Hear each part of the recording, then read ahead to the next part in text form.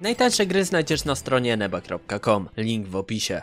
Siema, zgaduję, że to nie jest tak, że kliknęliście w ten odcinek i nie macie zielonego pojęcia, czego się tu spodziewać. Znając mnie, akurat bardziej się podkreślić nie dało, że to odcinek z Wiedźmina i z ciekawostek z niego. Także chyba nie mamy się co długo rozwodzić, co w tym odcinku znajdziecie, bo dobrze o tym wiecie. Kurde, kiedy... Oto kolejny odcinek z ciekawostek z Wiedźmina 3 na moim kanale. A sponsorem dzisiejszego odcinka i kanału jest strona eneba.com, na której możecie kupić tanio klucze do gier i nie tylko do gier, bo z kodem FIFA.pl do 30 września znowu macie taniej karty podarunkowe do PlayStation, aż o 9%. Plus same karty podarunkowe są tam dużo taniej, bo przykładowo taką kartę za 500 zł możecie tam dostać za 432 zł. I jeżeli odejmiecie sobie jeszcze od tego 9% z kodem FIFA.pl, za kartę podarunkową 500 zł zapłacicie tylko 393 zł, czyli ponad stówka w kieszeni. No i tyle. Kod FIFA.pl. Możecie też korzystać przy zakupach z mojego linku, tak też mnie wspieracie.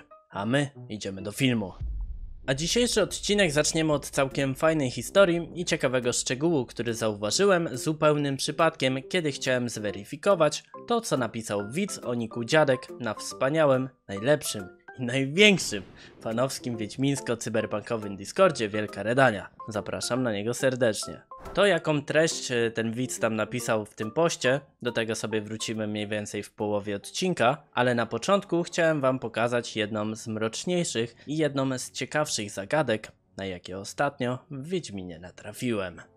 W Tucson, a konkretnie to w folwarku Bassein, możemy natknąć się na takiego wilka. I moje pytanie na dzisiaj brzmi: kim jest ten wilk oraz kim jest ta kobieta, którą gryzie? Bo oprócz oczywistego nawiązania do czerwonego kapturka, co jest tutaj małym easter eggiem, w tym wydarzeniu jest naprawdę ciekawa, ukryta historia i pewnie większość z Was o niej nigdy nie słyszała.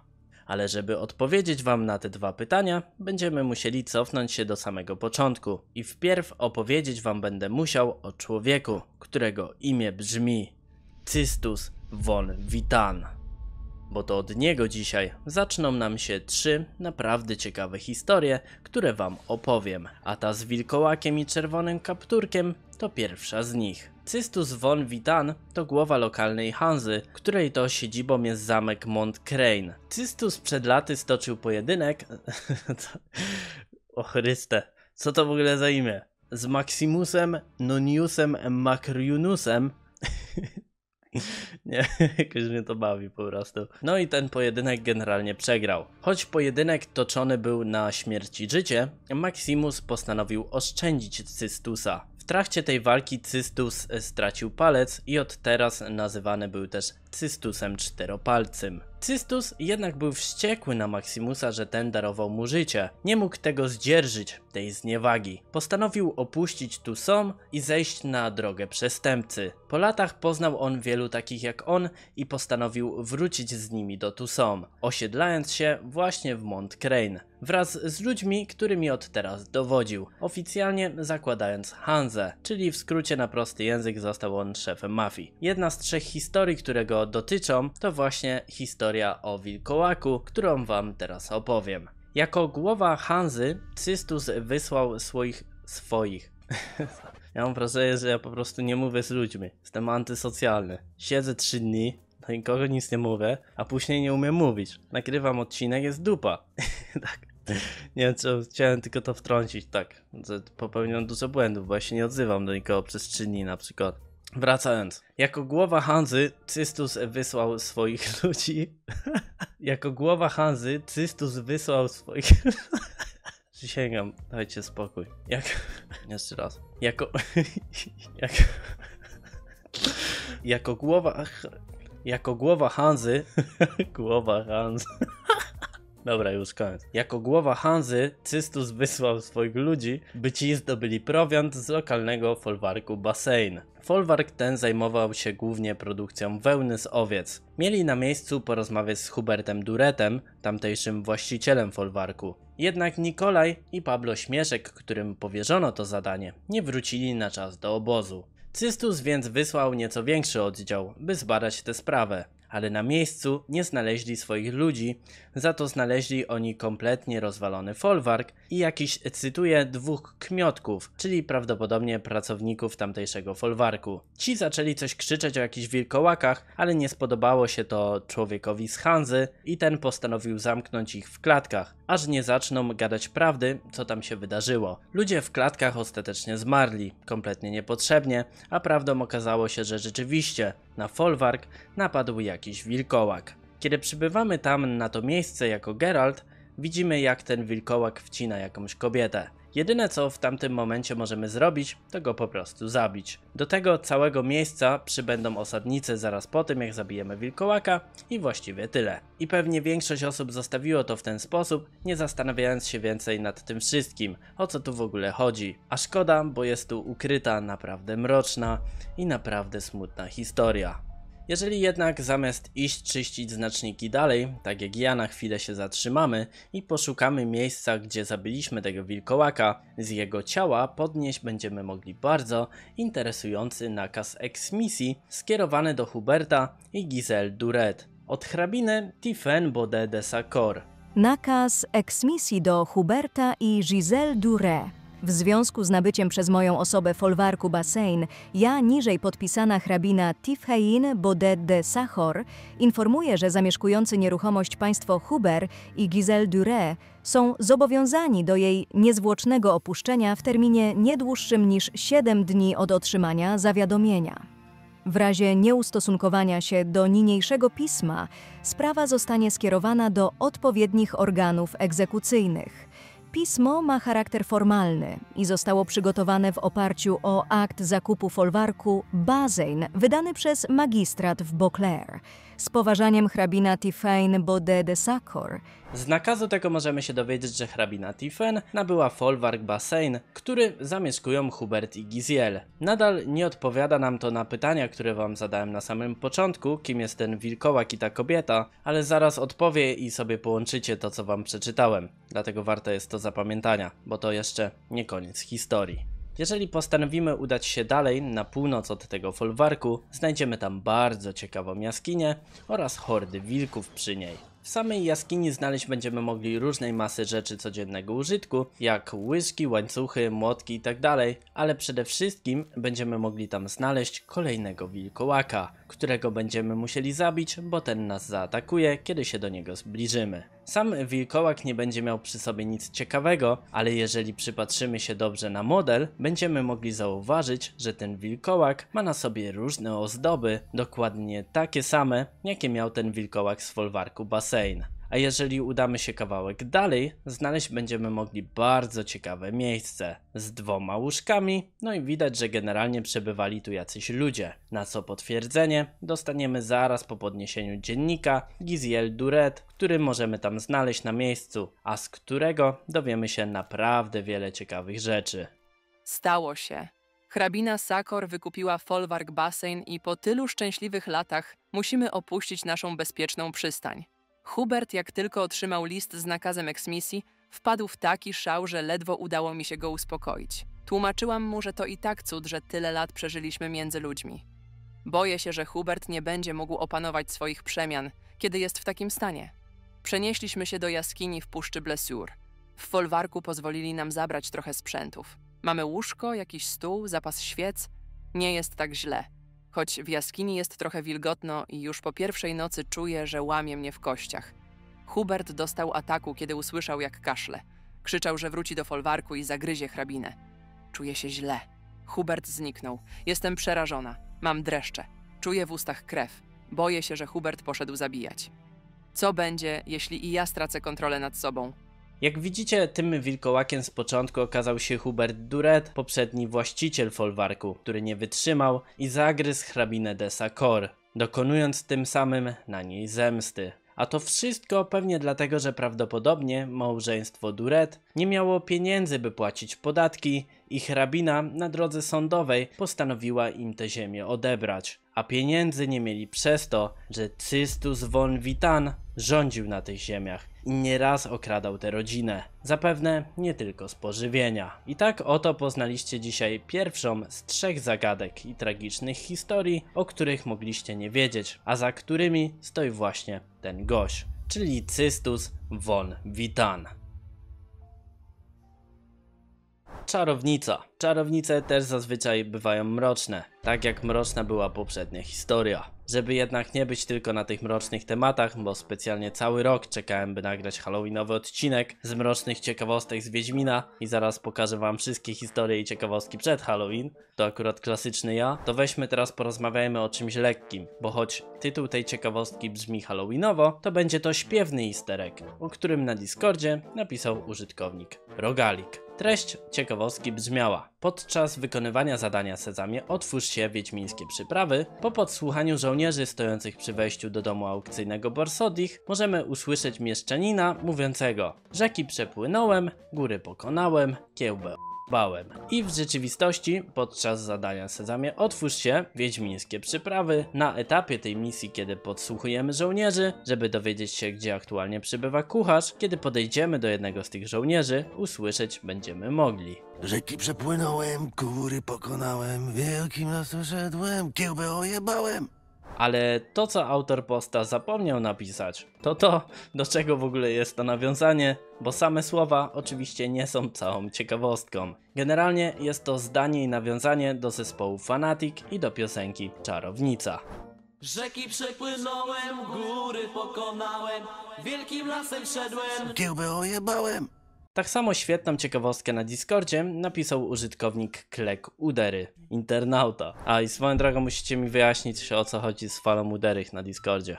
Ostatnio wchodzę na najlepszy wiedźmiński Discord w Polsce i nie wiem co się ku dzieje. Wszyscy nazywają się Udery, moderator tam wyzywa, że trzeba nazwy zmienić, nic nie rozumiem. No ale wracając do ciekawostki. Klek Udery napisał, że opis miejsca z Wiedźmina 3, które nazywa się Gaj Oleny, nawiązuje do Świtezianki Adama Mickiewicza. No i to co napisał widz jest faktycznie prawdą, bo inaczej w sumie nie umieściłbym tego w odcinku z ciekawostkami, no nie? No. Świtezianka to balada napisana przez Adama Mickiewicza i opublikowana przez niego w 1822 roku. Opowiada o tragicznym losie młodego myśliwego, który zakochuje się w tajem... Zakocho... Zakochuje? Zakochuje? Zakochuje? W słowie zakochuje są chuje? Opowiada o tragicznym losie młodego myśliwego, który zakochuje się w tajemniczej dziewczynie spotkanej nad jeziorem. Przysięga jej wierność, ale nie dotrzymuje słowa, próbując uwieść inną kobietę. Na końcu okazuje się, że dziewczyna jest duchem Świtezji, który każe go za zdradę, pociągając go na dno jeziora. A miejsce w Wiedźminie, zwane Gajem Oleny, ma taki opis. Jeżeli wierząc legendom, niegdyś w Gaju mieszkała piękna nimfa Olena, w której zakochał się młody myśliwy. Mężczyzna przysiągł nimfie wierność, ale później ją zdradził. Nimfa postanowiła go ukarać i zaklnęła jego duszę, która po dziś dzień błąka się po gaju. Także tak samo jak w Świteziance, mamy tutaj motyw zdrady oraz kary ze strony kobiety i zarówno w Świteziance, jak i w gaju Oleny mamy do czynienia z siłami nadprzyrodzonymi oraz romantyzmem. No i faktycznie coś czuję, że może być to prawda, że podczas tworzenia tego opisu to właśnie świteziankom sugerowali się twórcy. Ale równie dobrze, dobrze może być to kurwa nawiązanie do miliona innych nieomalże identycznych historii, które słyszałem w swoim życiu. Zakochana dziewczyna i mężczyzna, a potem facet, który ją zdradza i albo on ją zabija, albo ona zabija jego. No nie wiem, już tysiąc razy to słyszałem. Motyw tak zwany klasyczek. A skoro pokazuję wam ciekawostki, które wy sami napisaliście, proponuję kontynuować ten trend, bo kolejna ciekawostka, którą napisał jeden z widzów, Onikus Shop, jest naprawdę ciekawa i jeszcze nigdy o niej nie słyszałem. Idąc tym trendem, z taką ilością ciekawostek, które wypiszecie, zaraz wy będziecie tu robić filmy, a ja się tylko będę tu dogrywać. No i to jest życie. Widz Shop napisał ciekawostkę o misji jak kod z wilkiem, ale pewnie nie taką ciekawostkę, o której teraz myślicie. Ale od początku. Co to za misja? Tak dla przypomnienia. Misja jak Kod z Wilkiem to dodatkowe zadanie z darmowego DLC do Wiedźmina 3. Geralt trafia w tej misji do wsi Dobrowa, która została zaatakowana przez potwory. Na miejscu znajduje ślady wskazujące na obecność Wiedźmina, który prawdopodobnie zabił całą tą wioskę. Kontynuując swoje śledztwo, natrafia na tego Wiedźmina. Odpowiedzialnego za te krwawe wydarzenia, ten Wiedźmin nazywa się Gaetan. Ten opowiada mu, dlaczego zabił całą wioskę i wyjaśnia motywy, które stoją za rzezią. My stajemy wtedy przed dwoma wyborami: zabić go lub oszczędzić. Jeżeli postanowimy go oszczędzić, ten powie nam coś takiego. Czekaj. Nie będę takim fiutem jak ci chłopi. Należy ci się nagroda. Masz, weź to. Na miarę na moją skrytkę. Weź stamtąd co chcesz. Dziękuję. Nie, to ja dziękuję. Powodzenia na szlaku, wilku. I dostaniemy wtedy dostęp do jego skrytki. Jeżeli się tam udamy, do jego kryjówki, w jednej ze skrzyń będziemy mogli odnaleźć list do Gaetana. Getan, stało się. Szkoła została zajęta przez żołnierzy. Zabili Axela i Cedrika. Co do Schrödingera nie jestem pewien, może żyje, może nie. Za tobą i za mną wystawili listy gończe. Unikaj miast i głównych szlaków. Nie zwracaj na siebie uwagi. I ta notatka to nawiązanie, tak jak napisał Shop, do kota Schrödingera. Kot Schrödinger to nie taki żywy kot, a eksperyment myślowy z dziedziny fizyki kwantowej, więc Shop to jakiś ku... Oppenheimer albo inny Einstein. Kot Schrödinger to eksperyment myślowy zaproponowany przez austriackiego fizyka Erwina Schrödingera w 1935 roku. Ilustruje on paradoks wynikający z teorii mechaniki kwantowej. Eksperyment zakłada, że kot zamknięty w pudełku razem z urządzeniem, które może go zabić, może być jednocześnie martwy i żywy, dopóki nie zajrzymy do pudełka i nie dokonamy obserwacji. Eksperyment ten obrazuje problem superpozycji w fizyce kwantowej, gdzie cząstki mogą istnieć w wielu stanach jednocześnie. Nie mam pojęcia co przeczytałem, ale tak było napisane na Wikipedii. A w notatce przeczytać możemy, przypomnę, co do Schrödingera, nie jestem pewien, może żyje, może nie. Pewnie z początku pomyśleliście, że powiem wam ciekawostkę o tym, że jak przyjdziemy w zbroj kota do Wiedźmina, to będzie miał on inny komentarz, ale jak widzicie, nie o to chodziło. Bardzo ciekawe i pierwszy raz o tym słyszę. Ale i tak wam pokażę tę ciekawostkę z tym armorem, bo nie wytrzymię. Jeżeli będziemy mieli założony jakikolwiek armor oprócz szkoły kota, Gaetan powie coś takiego. Drugi Wiedźmin. No, no. Świat jest mały. Z kolei, jeżeli będziemy mieli na sobie armor szkoły kota, ten powie coś takiego. No proszę, co my tu mamy? Zbroja kota, a medalion wilka. Jakiś mieszaniec. Jak się pewnie domyślacie, na moim komputerze posiadam naprawdę sporo nagranych filmów. Na kompie mamy jakieś 2 terabajty poświęcone tylko YouTube'owi, Tylko YouTube'owi. i z 1,5 terabajta poświęcone na gry, pliki prywatne, jakieś zdjęcia, programy itd. Ale ostatnio pojawił się problem, nie będę ukrywać. Okazało się, że nie zostało mi nawet 1 GB miejsca na dyskach, żeby wyrenderować film. Dzięki temu cały dzień musiałem się męczyć, żeby to miejsce znaleźć. Nie będę ukrywać, że nie mogę sobie na to pozwolić drugi raz, bo w innym wypadku komputer skończy za oknem. Także pozbędę się niektórych nagranych filmów, takich jak tego z tą ciekawostką. O tej ciekawostce już wam kiedyś mówiłem na szorcie, więc trochę głupio mi mówić o niej drugi raz, ale ciekawostka jest w sumie na tyle fajna i mam wrażenie, że tak mało osób o niej słyszało, że muszę pokazać tę ciekawostkę w pełnym odcinku. Podczas misji Stosy Nowigradu za zadanie mamy odnaleźć Tris Marigold. Tym celu udajemy się do jej starego domu, jednak kiedy tam zachodzimy, jej już tam nie ma. Okazuje się, że ta przebywa w miejscu, które zwie się Zgniły Gaj. I my za zadanie mamy do tego całego Zgniłego Gaju się udać. Możemy to zrobić generalnie na trzy sposoby. Dwa takie dość znane, bo zaznaczone je mamy bezpośrednio w misji, to znaczy możemy wypytać żebraków o to, gdzie znajduje się Zgniły Gaj, albo zacząć śledzić złodzieja. Jednak jest jeszcze trzeci, bardzo mało znany sposób, jak się tam dostać. Jeżeli zaraz koło bramy chwały w Nowigradzie udamy się do kanału, który znajduje się po prawej stronie od tej bramy, znajdziemy tam taki oto tunel. Kiedy pójdziemy w głąb tego tunelu, znajdziemy tam kilka utopców, które to będziemy musieli zabić oraz ciało, z którego podnieść będziemy mogli klucz do krat w kanałach. Tym kluczem otworzyć będziemy mogli kraty, przez które jeżeli się przedostaniemy, dojdziemy właśnie do zgniłego gaju. I będziemy wtedy świadkami też sceny, której całkiem sporo osób mogło nie widzieć, dlatego wam ją teraz pokażę.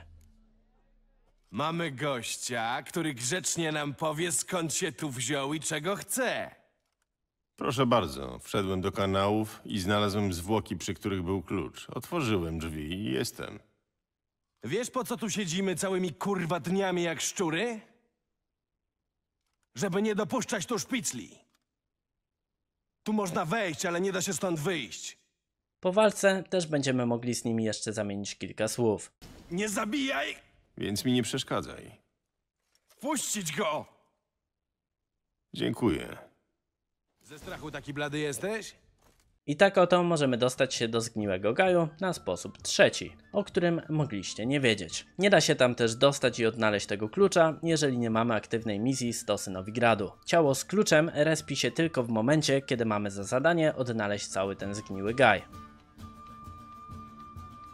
W misji Wielka Ucieczka za zadanie mamy spotkać się z pewnym człowiekiem, któremu udało się uciec raz z Deirat, czyli z więzienia w Nowigradzie, co czyni go cennym sojusznikiem dla Geralta i Yennefer, ponieważ ci chcą się dostać do tego więzienia, aby uwolnić Margaritę Laux Antile. Człowiek, któremu udało się uciec z tego więzienia, nazywa się Abefaria i taki człowiek jak Abefaria w rzeczywistości istniał. Abefaria był rzeczywistą postacią, portugalskim duchowym i pionierem w dziedzinie hipnozy. Żył na przełomie XVIII i XIX wieku, a jego pełne imię to José Kurwa, jak to się pronounce. A jego pełne imię to José Custodio de Faria. Stał się on znany ze swoich badań nad hipnozą, ale również za swoją działalność polityczną. Na podstawie tego portugalskiego duchowego została stworzona postać Abe Fari, która występuje w powieściach hrabia Monte Cristo, autorstwa Aleksandra Damasa.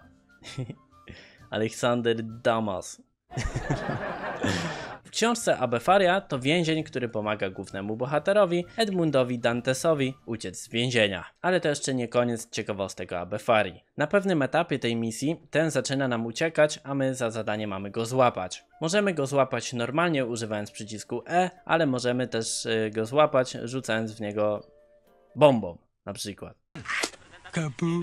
Tak, Riko. Kabum. Albo wcale go nie złapać. Wtedy scena będzie delikatnie inna, jeżeli ta, kiedy go złapiemy. Tak wygląda scena, jeżeli złapiemy go normalnie albo rzucimy w niego petardę.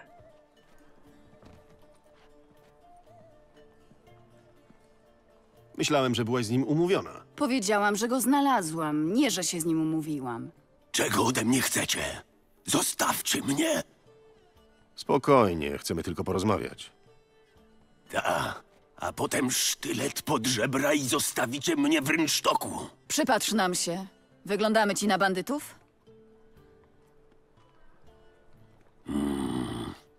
No, no nie bardzo. No właśnie. A poza tym jesteś dla nas o wiele cenniejszy żywy niż martwy. Z kolei tak będzie wyglądać scena, jeżeli nie uda nam się go złapać.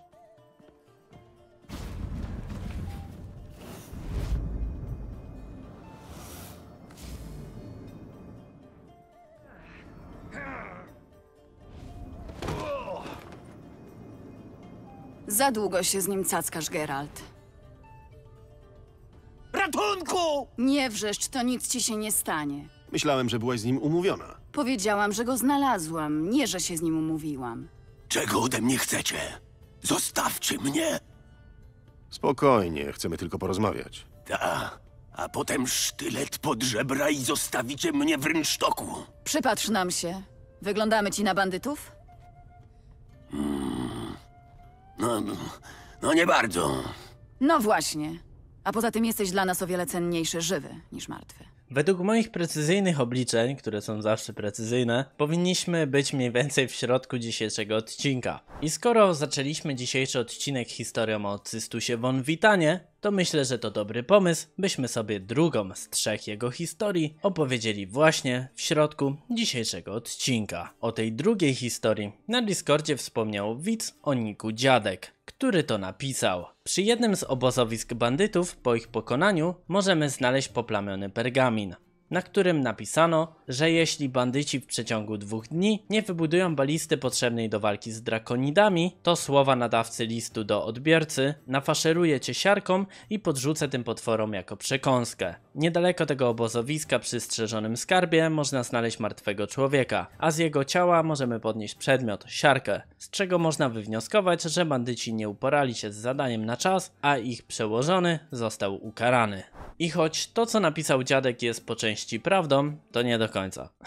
Ale żeby zrozumieć, co się wydarzyło w tych oto dwóch miejscach, będziemy musieli się cofnąć znowu do samego początku. Do momentu, kiedy Cystus von Witan postanowił osiedlić się w ruinach zamku Mont Crane, ponieważ po osiedleniu Cystus i jego Hansa zrozumieli, czemu ten zamek stoi teraz opuszczony.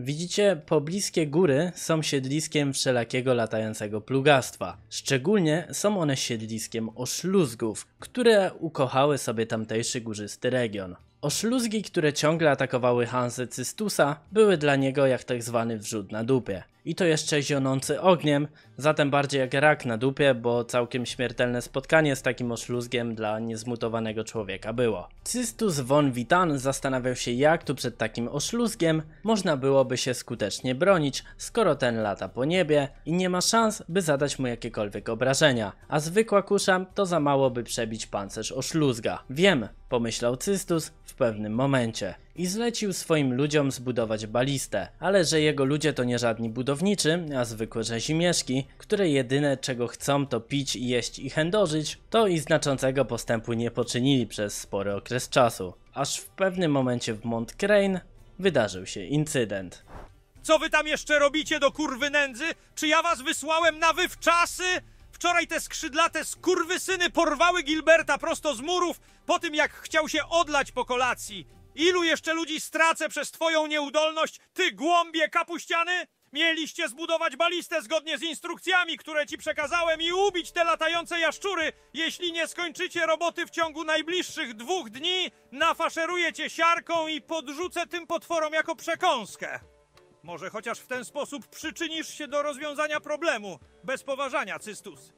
Jacques Rudy nie ukończył roboty w przeciągu najbliższych dwóch dni, o czym dowiedzieć możemy się przybywając do siedliska pobliskiego Szluzga, bo tam znajdziemy ciało nafaszerowane jagodami oraz właśnie siarką, które to ewidentnie zostało podrzucone Oszluzgowi. Tak jak to napisał w swoim liście Cystus. Jednak to nie Jacques'a tam wrzucili, a młodego Katona, o czym przeczytać możemy w notatce, którą to podnieść możemy z martwego ciała w gnieździe Oszluzga. Pawle, weźcie młodego Katona i spijcie go dziś wieczorem. Byle do nieprzytomności. To gówniarz, więc dużo mu nie potrzeba. Jak już będzie pijany jak Bela, spętajcie go dobrze. A potem nafaszerujcie wilczymi jagodami i siarką, tak jak się tuczy gęsi przed Saowinę.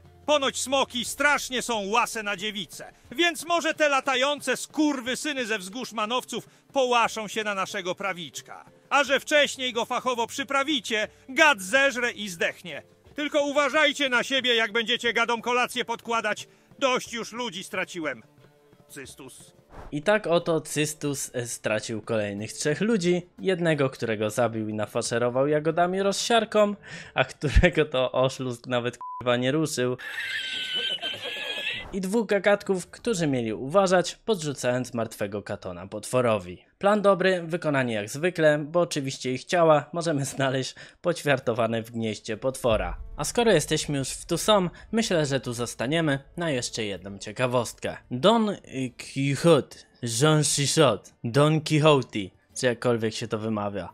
Nie no, tym razem akurat sprawdziłem jak to się wymawia. Don Quixote. W ogóle wiedzieliście, że jak w goglach wpiszecie sobie how to pronounce, to wam może wyskoczyć taka buźka i on tam podpowie jak to pronounce? Don Quixote. Don Quixote. Jak nie wiedzieliście, to teraz już wiecie. Ja też nie wiedziałem, ale to już też wy wiecie.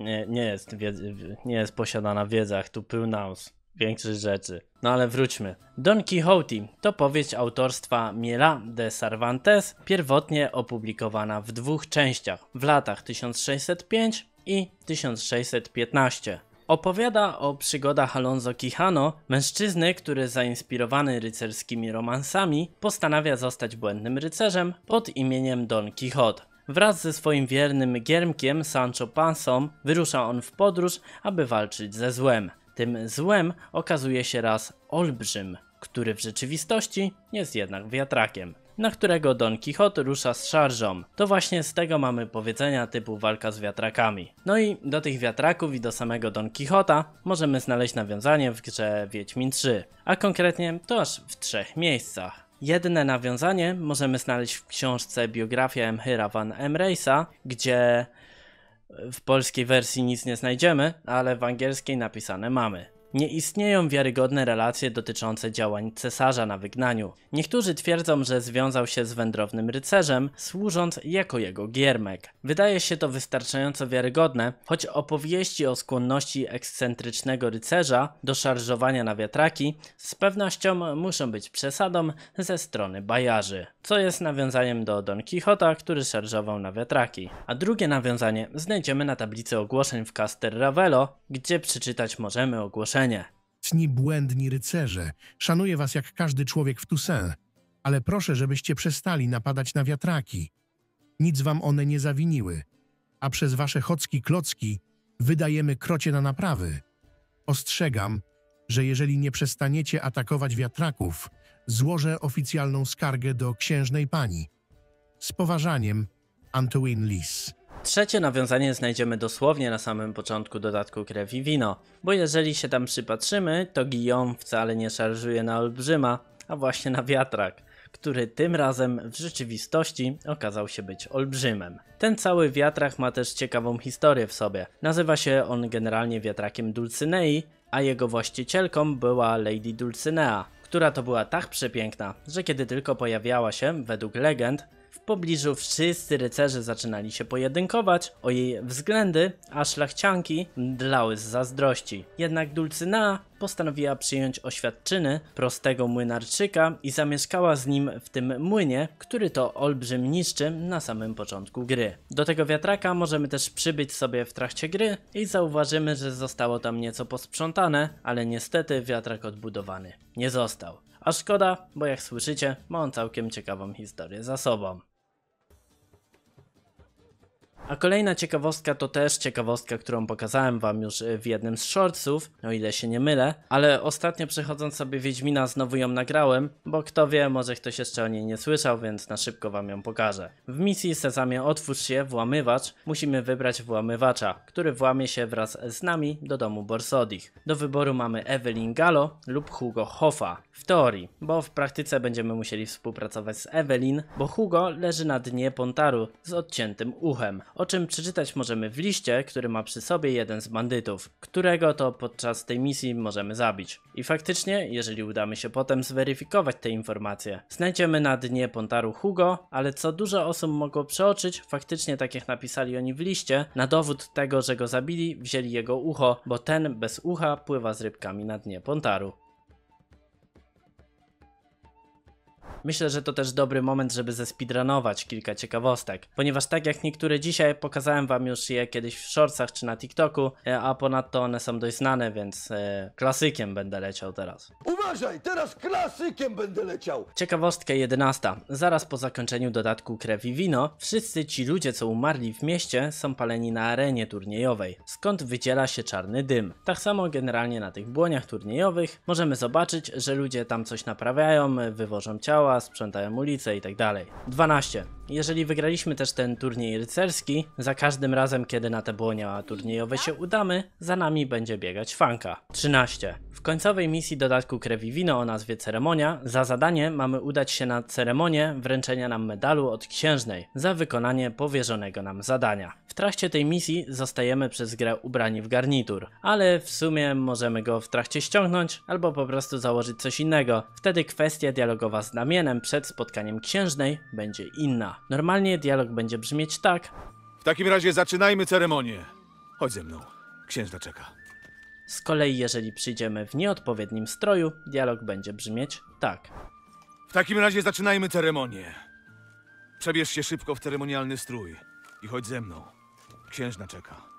14. Podczas misji Długa Noc możemy też uratować dzieciaka, który siedzi pod wozem, a którego to atakują wampiry. Jeżeli zabijemy wtedy wampira, który atakuje tego dzieciaka, będziemy mogli z tym kidosem zamienić kilka słów.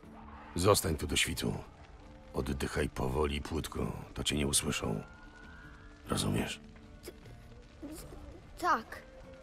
15. No i też jeżeli nie wykonaliśmy tych zadań związanych z turniejem rycerzy, będziemy mogli znaleźć podczas misji Długa Noc ciało Guillaume'a. Ciało rycerza. To Guillaume. Biedny głupek. I generalnie jego ciało respi się w dwóch miejscach, albo niedaleko rynku, albo niedaleko posiadłości Oriany. Z jakiegoś powodu to, co zawsze mnie omijało w Wiedźminie, to ukryte misje. No nie będę ukrywać, że jeżeli jest jakaś misja do wykonania, a ta nie jest zaznaczona na mapie, to szansa, że na tą misję się natknę jest dość nikła. Zazwyczaj w grach idę od punktu A do punktu B. Jeżeli gra mi powie hej idź tam, nie wiadomo co tam jest, ale coś tam może być ciekawego, no to też tam pójdę. Tylko problem w Wiedźminie jest taki, że na mapie jest tyle tych miejsc, jest tyle tych znaków zapytania, że jest więcej tych znaków zapytania niż danej mapy. To co chcę wam y, tym przekazać to, że nigdy nie zrobiłem wszystkich znaków zapytania. Chyba tylko raz w Białym Sadzie. Więc zawsze jak nagrywałem odcinki o ukrytych misjach na kanale, czy pokazywałem wam coś i mówiłem, że pierwszy raz o tym słyszę, to rzeczywiście mówiłem prawdę. Nigdy też nie oglądam żadnych innych wiedźmińskich twórców, szczególnie tych polskich. Znaczy oczywiście wiem, y, że istnieją i wiem co kto robi, ale nigdy staram się nie oglądać, żeby się też nie inspirować, bo w innym wypadku czuję, że byłbym kolejną kopią po prostu kogoś. Więc jeszcze przed tym jak opowiem wam trzecią historię, naprawdę mroczną, o Cystusie von Witanie, pokażę wam wpierw ciekawą ukrytą misję, którą możemy znaleźć w Kermoren, o której nie miałem pojęcia. W odcinku 3 ukryte misje w Kermoren, o których na 100% nie wiedziałeś, pokazałem wam misję Wiedźmińska Kuźnia, misję Efekt Cieplarniany czy misję Sąsiedzka Sprzeczka. Ale w samym Kermoren możemy znaleźć jeszcze naprawdę ciekawą ukrytą misję, która nazywa się Miecz Berengara. Aktywuje nam się ona, jeżeli w Kermoren z pewnej skrzynki podniesiemy notatki Berengara. Znajomy charakter pisma. Berengar. Te papiery muszą tu leżeć od ładnych paru lat. A w samej notatce przeczytać będziemy mogli. Cholerne żelastwo. Tydzień przy miechach i kowadle, Torherne wyszedł jak się patrzy, a potem klinga pękła przy pierwszym uderzeniu. Coś chyba spieprzyłem z kompozycją stopu, albo za szybko schłodziłem miecz po wykuciu. Ciężko powiedzieć. Trzeba po prostu spróbować jeszcze raz, ale już nie tu, bo Wesemir oczywiście już się naprasza z arcymądrymi radami. Powinienem był wiedzieć, że jak raz go spytam o zdanie, to już się nie odczepi. Nie wiem jak to jest, że Geralt od tego nie wariuje. No proszę. Pracował nad mieczem i wnioskując z notatek nie byle jakim. Torherne. Warto zagadnąć Wesemira. Skoro Berengar się z nim konsultował, może pamięta na czym stanęło. I tak oto aktywuje nam się misja Miecz Berengara, a my za zadanie będziemy mieli porozmawiać z Wesemirkiem, co się z tym mieczem jego stało. Dla przypomnienia, bo w sumie też nie każdy musi wiedzieć, kim jest Berengar. Berengar to Wiedźmin Szkoły Wilka, którego to spotkać możemy w grze Wiedźmin 1. Pewnie jest sporo osób, które grały w Wiedźmina 3 na przykład i czytały tylko książki, więc nie mają pojęcia kim jest ten Berengar, bo wystąpił on w Wiedźminie 1, no to tłumaczę. Sam w sumie należałem do tego grona jeszcze rok temu. Znalazłem notatki Berengara. Z tego co wyczytałem, próbował wykuć Torherne, a ty mu pomagałeś. Co najwyżej służyłem radą. Chłopak nie potrafił wykuć tego miecza, ale zamiast puścić mnie do kowadła, zawracał głowę pytaniami. Wszystko chciał zrobić sam, jak zawsze. No ale potem się skończyło, bo schemat diabli wzięli. Dosłownie. Słucham? Berengar wyprawił się na czarta, który zaląkł się w dolinie za zamkiem. Nie wiedzieć po co wziął cały ekwipunek. No, może myślał, że będę grzebał przy tym mieczu, jak go nie będzie. Wiesz, jaki on był. W każdym razie czart okazał się silny, za silny. Berengar uciekł. No, a że ciężko biec z ważącą dwa pudy sakwą pod pachą, musiał porzucić swoje rzeczy. Czerwony był od krwi i ze wstydu. Prawie się nie odzywał, zaraz potem wyjechał. Na zawsze. Resztę historii znam. Słuchaj, jak trafić do leża tego czarta? Wiedziałem, że nie odpuścisz. Najłatwiej wziąć łódź i płynąć rzeką z prądem, aż do końca. Tylko uważaj. Berengar miał swoje wady, ale walczyć akurat potrafił. Jeśli ten czart jeszcze tam siedzi, może dać ci popalić. I teraz za zadanie w tej misji będziemy mieli udać się do tej całej jaskini czarta i stoczyć z nim pojedynek. Tu rzeka się kończy. Muszę być blisko. Oho, stary, silny samiec. Nic dziwnego, że Berengar miał z nim kłopoty. A, tyle w kwestii Biesa. Teraz pora rozejrzeć się za rzeczami Berengara. Jeżeli pokonamy czarta, tak jak powiedział Geralt, za zadanie będziemy mieli znaleźć ten schemat. Ten znajdziemy w worku, który leży w pobliżu i misja nam się praktycznie zakończy. No i właściwie tyle. Nigdy nie natknąłem się na tę misję, ale wydaje mi się też, że zawsze chodziłem do tej jaskini, by znaleźć tam schemat wiedźmiński i po prostu podnosiłem też schemat tego miecza Berengara i omijałem całą tą misję, jak i dialog z Wesemirem. Dlatego w sumie fajnie było sobie po raz pierwszy tę misję przejść. Odcinek jak zwykle miał być krótki, a jak zwykle wyszedł 40-minutowy. Nie wiem jak to się dzieje, zawsze sobie mówię leciutko, chillujemy. No i tak jak mówiłem też w, w odcinku tam, yy, jak się ten odcinek? O religiach, coś tam o religiach. Wszystkie religie Wiedźmina. Że zawsze się później tak wkręcam i zaczynam się bawić w detektywa i nie się oglądam. Praktycznie z samego rana robi się noc i, i tak praktycznie mija kilka dni. No i bawiąc się w takiego detektywa, odkryłem też trzecią historię naprawdę mroczną, o Cystusie von Witan. Z pewnością pamiętacie jego początki. Dlaczego przed laty uciekł z Tusom? Wszystko przez jednego człowieka, który postanowił darować mu życie. Jego imię to Maximus Nonius Macrinus. Od tego momentu w życiu Cystusa zmieniło się wszystko. Marzył on bowiem jedyne o czym to o śmierci tego człowieka, za poniżenie, które według niego Maximus mu wtedy sprawił. Kiedy wrócił więc do Tucson, postanowił się zemścić, ale w najbardziej obrzydliwy i tchórzliwy sposób, jaki tylko istniał. Bowiem nie wyzwał on Maximusa na pojedynek. Nie. Po tym jak się dowiedział, gdzie on mieszka, wysłał do jego domu zbrojną ekipę. Lubiłem chodzić na rzemiosło. Zabić to było dla mnie tyle, co splunąć. Wychowywano mnie na rycerza, ale życie Raubritera niewiele się od niego różni. Najpierw miecze, krew, potem wino, kurwy i troski giną. Ale od czasu tamtej przeklętej nocy wszystko się zmieniło. Codziennie śnię koszmar, w którym krok po kroku przeżywam tamte wydarzenia. Posiadłość wzięliśmy z marszu, a Maximusa Macrinusa wyciągnęliśmy z betów w samych gaciach, ale potem trzeba się było zająć jego rodziną. Nie było wyjścia, takie było zlecenie. Ale co innego wbić na pal grubego skurwysyna, co wąsy ma winem sklejone, a co innego wieszać na gałęzi małego chłopca. Piszczał jak dziewczynka, kiedy chłopaki zaciągali mu sznur na szyję. Makrinus chciał nas przekupić. Pokazał mi nawet otwieraną ruchomym świecznikiem skrytkę, gdzie przechowywał wszystkie rodowe skarby, ale zlecenie od Cystusa było jasne. Potem przyszła kolej na żonę Maximusa. Chłopcy długo się z nią zabawiali na jego oczach, zbyt długo. Nie znałem skurwiela i nie wiem, czym tak zaszedł za skórę Cystusowi, że zgotował jemu i jego całej rodzinie taki los, ale tego było dla mnie za dużo. Gdy jego rodzina wisiała już na gałęzi, wtedy dopiero wzięliśmy się za Makrinusa. Przypalaliśmy mu boki, obcięliśmy uszy, a na koniec otworzyliśmy trzewia, a on przez całe męki nawet nie krzyknął. Stękał tylko pod nosem i gdy w końcu miał skonać, w swoich szczynach i kale pod drzewem, na którym zawiesiliśmy jego syna i żonę, spojrzał mi w oczy i wyszeptał: Zemsta będzie moja w tym życiu lub następnym. To były jego ostatnie słowa. Ciemne chmury zaciągnęły całe niebo, zerwał się wicher, wydałem rozkaz wymarszu. Pamiętam dokładnie, że gdy zdawałem Cystusowi relację, był tak cholernie uśmiechnięty, przeszczęśliwy. Nie obsobaczył mnie nawet, kiedy przyznałem, że nie splądrowaliśmy posiadłości. Widać chodziło mu tylko o śmierć Makrinusa. Tylko. Jednak wieści o skarbach, które pozostały w Casteldaci, szybko rozeszły się po Montcrain i kilku z naszej Hanzy chce wybrać się na rekonesans. Dołączę do nich. Pogrzebie szczątki, które leżą tam we dworze. Może wtedy te dusze zaznają spokoju. Może zmarzę tym choć część moich grzechów. Może będę mógł w końcu zasnąć w spokoju. Dusze nie zaznały spokoju. Bo kiedy przybędziemy jako Geralt do posiadłości Casteldacia, będziemy mogli spotkać tego całego Maximusa. I to dopiero my będziemy mogli położyć jego cierpieniom kres naszym srebrnym mieczem. Zemsta będzie moja w tym życiu lub następnym!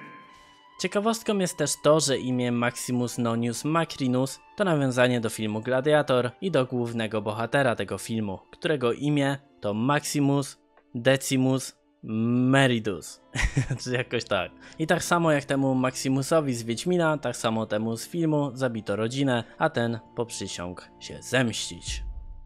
To by było na tyle w dzisiejszym odcinku. Jeżeli lubicie moje materiały, możecie zostawić subskrypcję na kanale i wpaść na największy i najlepszy wiedźmińsko-cyberpunkowy serwer Discord na świecie Wielka Redania od fanów dla fanów. Dziękuję Verufix za wsparcie, serduszko dla Ciebie bratku, a my widzimy się klasycznie za kilka dni. Do zobaczenia.